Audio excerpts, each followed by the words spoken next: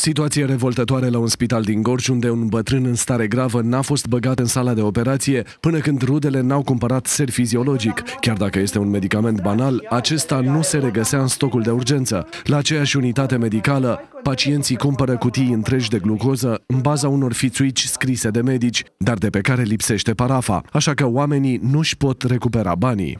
Zilnic de la, uh, deci din prima zi în care a fost internat am primit pe astfel de fițuici, necesarul de medicamentație.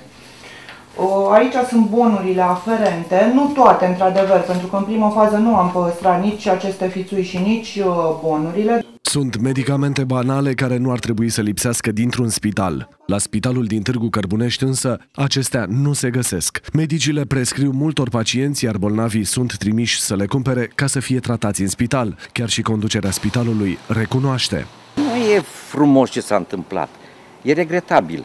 Eu de asta vreau să aflu și părerea nepotului. Pentru că în discuțiile care am avut cu medicii, unii dintre ei spun următoarea, domnule, sunt uh, pacienți care ne impună un anumit tratament. Vrem perfuzie, vrem vitamine și uh, ca să cădem cumva bine și în fața pacienților, facem aceste lucruri. Eu nu știu dacă în situația de față ăsta e adevărul sau faptul că ei nu s-au gospodărit să aibă la nivelul blocului operator uh, eu știu, câteva puși de ser sau câte trebuiau puși de ser și de glucoză.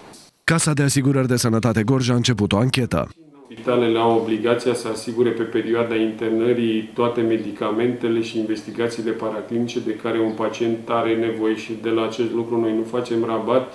Acest lucru nu este condiționat de bugetul alocat unui spital, Există și posibilitatea ca pacientul să cumpere medicamentele, dar numai în baza unui document medical parafat de către medicul curant, primește banii înapoi de la unitatea sanitară. Puțin pacienți știu însă că spitalul trebuie să le dea banii înapoi dacă medicul îi trimite să cumpere medicamente. De teamă să nu fie ignorați, oamenii fac tot ce le spun cadrele medicale.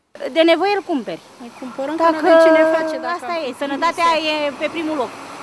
Aveam nevoie de niște medicamente și de o ploscă pentru un bătrân. Cine v-a trimis să le luați? Păi sunt internat aici cu soțul mm. aici. Și... Da, facă ce să fac decât să mori. În fiecare lună, unitatea medicală primește de la bugetul de stat 4 milioane de lei. Spitalul din Târgu Cărbunești are 343 de paturi și deservește o treime din locuitorii județului Gorj. În jur de 85.000 de oameni din 20 de localități sunt tratați aici.